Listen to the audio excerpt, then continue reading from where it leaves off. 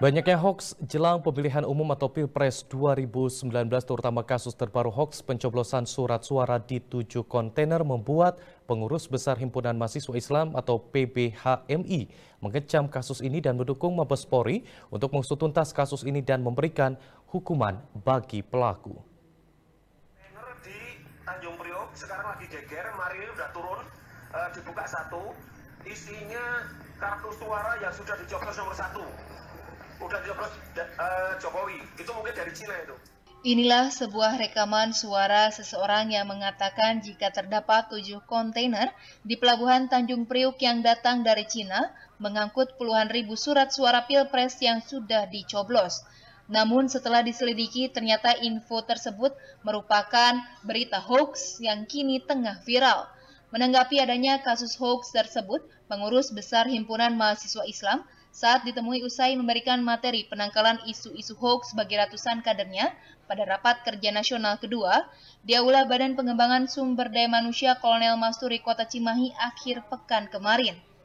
Pihaknya mengatakan jika kasus hoax pencoblosan surat suara di tujuh kontainer itu sangat menciderai demokrasi jelang pilpres di negara ini.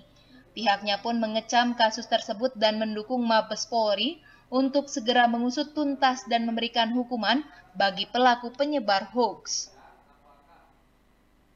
Sementara itu untuk pemilihan presiden dan pemilihan legislatif nanti, HMI berdiri sebagai organisasi yang harus menjaga objektivitas sehingga tidak akan memihak ke kubu mana pun dalam posisi pilihan politik yang independen dan netralitas. Fokus dan kegiatan-kegiatan mengawal demokrasi juga.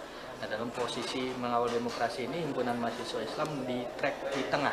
Artinya kita tidak ke kanan atau ke kiri, kita tidak nomor satu, nomor dua, kita tidak uh, A atau B, tapi kita posisinya adalah mengawal demokrasi, pesta demokrasi ini supaya kita tidak terjebak dengan hal-hal yang negatif. Negatif demokrasi yang hari ini yang muncul ya hoax dan sebagainya, soalan-soalan publik yang kemudian akhirnya menjadi negatif terhadap masyarakat.